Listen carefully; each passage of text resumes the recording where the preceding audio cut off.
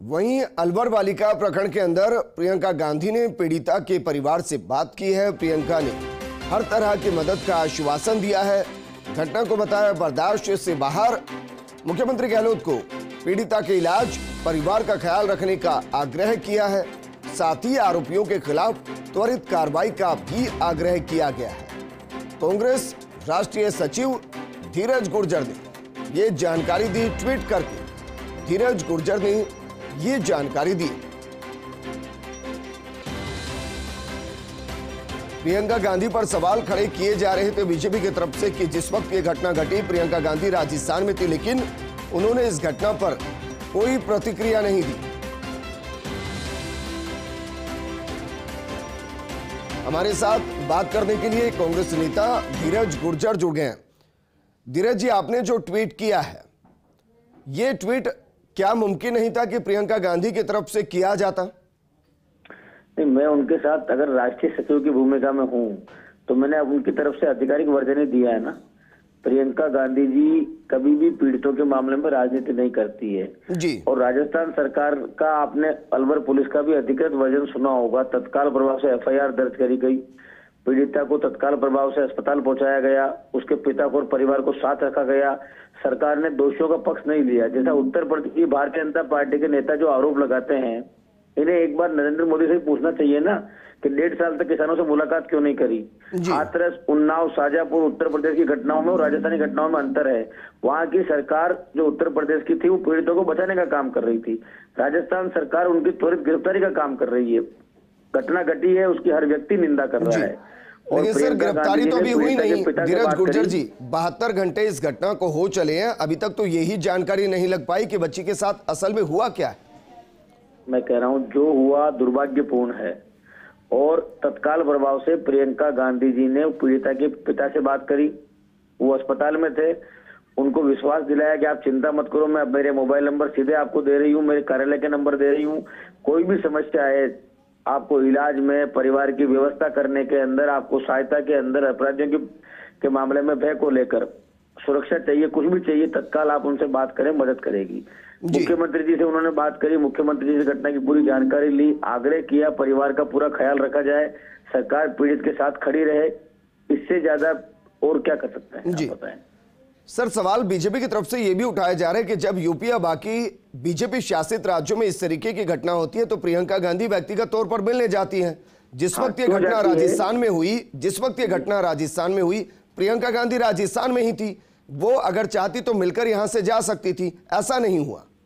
देखिए एक तो पीड़ित अस्पताल के अंदर है। तो वहाँ जाके उसके वहाँ जाने का कोई अभी मतलब अस्पताल में जाने का कोई तुक नहीं था उसमें राजनीति नहीं करना चाहते। दूसरा उत्तर प्रदेश की घटना के मामले में क्या होता है कि वहाँ पर सरकार पीड़िता को दबाने का काम करती है पीड़िता के परिवार को परेशान करने का काम करती है अपराधियों को बचाने का काम करती है क्योंकि वहाँ पर ताकतवर लोग उल्टा करते हैं। राजस्थान सरकार अपराधियों को पकड़ने का काम कर रही है इसकी जानकारी लेके पीड़िता का इलाज कराने का काम कर रही है। अगर कहीं ऐसा होगा कि हमारी सरकार मदद नहीं करे तब तो हम जाए ना? जी। तो ये अंतर तो समझना पड़ेगा।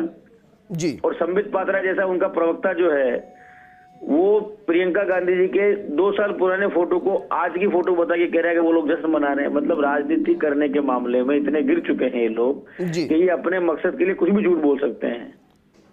धीरज जी क्योंकि आपने ट्वीट किया है सर ये जानकारी दे पाएँगे प्रियंका गांधी जी ने किस वक्त बात की किन से बात की और क्या कुछ बात की? पीड़िता के पिता से बात करी। समय मैं आपको बता देता हूँ। जी। कल शाम को लगभग नौ बजे के आसपास उनकी उनसे बात हुई है। जी। एग्जैक्ट समय बता रहा हूँ मेरे फ़ोन में आपको मैं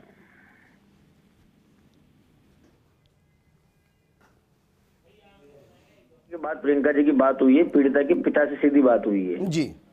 फ़ोन के ऊपर बात हुई है उस समय वो जयपुर थे। प्रियंका जी ने उनको पूरी बात करी उन्हें ये कहा कि आपको जो भी सहायता चाहिए कोई भी तकलीफ़ आ रही हो आपका इलाज कैसा हो रहा है पीड़िता के पिता ने पूर्ण संतुष्टि बताई कि मैं मेरी बेटी के इलाज की व्यवस्था से संतुष्ट हूँ सरकार की सहायता से संतुष्ट हूँ मुझे कोई डरा धमका नहीं रहा है मेरी हर तरह से अच्छा ख्याल रखा जा रहा है और उसके बाद अपने सचिवों के नंबर उन्होंने दिए हैं कि इनसे कोई भी तुम्हारी तकलीफ़ पड़ जाए फ़ोन करके तुरंत संपर्क करना। धीरज जी बहुत शुक्रिया हमारे साथ जुड़ने के लिए और जानकारी देने के लिए की। किस तरीके से कांग्रेस न सिर्फ़ पीड़िता के साथ खड़ी है, बल्कि प्रियंका गांधी ने पीड़िता के पिता से बात की और उनको हर संभव मदद का भरोसा दिया है, आश्वासन दिया है। शुक्रिया हमारे साथ जुड़ने के दिल्ली से हमारे सहयोगी गौरव भी जुड़ गए। गौरव, क्या आपको लगता है कि राजस्थान के अंदर जो घट रहा है उससे वर्तमान में देश की सियासत पर असर पड़ रहा है और इसलिए धीरे धीरे ही सही जो राष्ट्रीय नेता हैं, वो भी इस घटना पर अपने अपने सियासी तौर पर बयानबाजी कर रहे हैं। जी, बिल्कुल मैं आपकी बात से सहमत हूँ। जो वर्तमान में हालात है, जो अलवर की घटना, जो संज्ञान में आई है और कल संबित पात्रा की जो प्रेस कॉन्फ्रेंस हुई है, उसके बाद देर रात गए प्रियंका गांधी का जो ट्वीट आया है तो कहीं ना कहीं ये एक सवाल का जवाब देने की कोशिश की गई है, लेकिन इसमें एक बात जो सामने आई है वो ये कि जब प्रियंका गांधी राजस्थान के दौरे पर थी रणथंबोर थी शेर देख रही थी तब उन्हें वो घटना याद नहीं आती है और वो जब दिल्ली के लिए रवाना होती है तो घटना पर ट्वीट आता है और मुख्यमंत्री से बात करने की और पीड़िता को हर संभव सहायता देने की बात आती है। तो यहाँ हम कह सकते हैं कि ये जो सारी कवायद है ये इसलिए की जा रही है कि यूपी और पंजाब चुनाव में इस घटना का प्रभाव नहीं देखने को मिले। जी। गौरव, शुक्रिया तमाम जानकारी हमारे साथ साझा करने के लिए। लेकिन ये सवाल बाकायदा हमने धीरज गुर्जर से पूछा तो उन्होंने कहा कि जब सरकार पूरे तरीके से पीड़िता के परिवार के साथ खड़ी है तो फिर प्रियंका गांधी नहीं आती, इससे बहुत ज़्यादा फ़र्क नहीं पड़ता, क्योंकि सरकार अपना काम करिए और सरकार कांग्रेस की है।